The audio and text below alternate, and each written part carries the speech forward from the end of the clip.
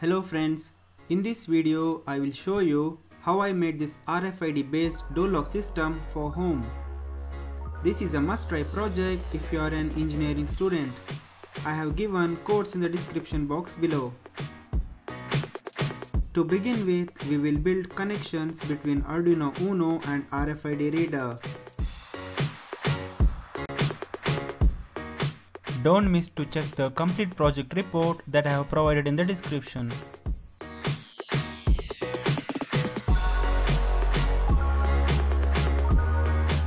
To connect the micro servo and LED, I have custom made this wire that shares one ground with two LEDs and two servos. After the circuit is complete, we can start uploading the code. Open Arduino IDE and upload the code. Then open serial monitor and tap on your RFID reader. You should be able to get the UID of your tag. Copy and paste this UID on your Arduino code and re-upload the code again.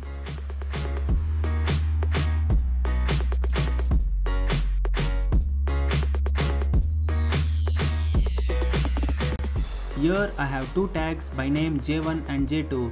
J2 is provided with access but J1 is not. When we are tapping the tag J2, the servo works with a green LED, but when we are tapping the tag J1, the red LED glows.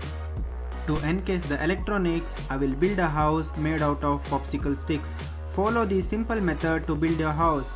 You can make this using cardboard too, but I recommend to use popsicle sticks as it makes the project look more attractive. Use decent amount of hot glue wherever necessary. Since I will be using USB power supply to power this project, I will make a slot on the wall. Mark the area and make the slot. Now you can assemble all the electronics inside. To keep the Arduino board in place, I will use this small piece of popsicle stick. To make the RFID holder and door mechanism, I created a template out of cardboard to which popsicle sticks are glued.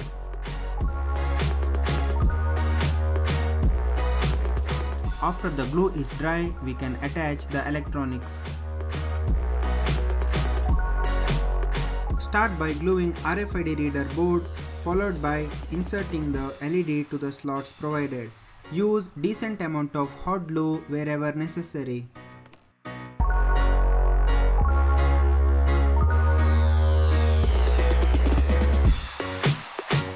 To make the door movement as smooth as possible, I adapted using this design. If you have additional length servo horn, cut as shown in this video. Glue the servos as you can see in this video and allow the glue to dry completely.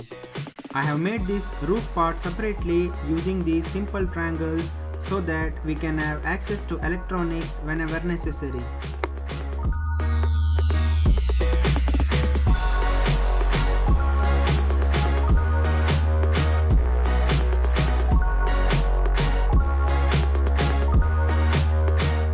Make a note that you are not heating the hot glue gun to its maximum temperature.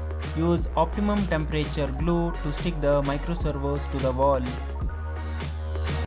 This completes the house and casing of its electronic components and we are ready to test this project.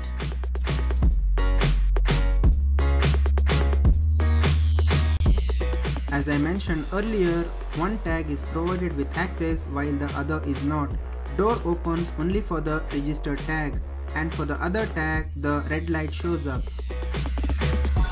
I hope you enjoyed this project. If you have any question you can ask me in the comments. For more details you can check out the description box below.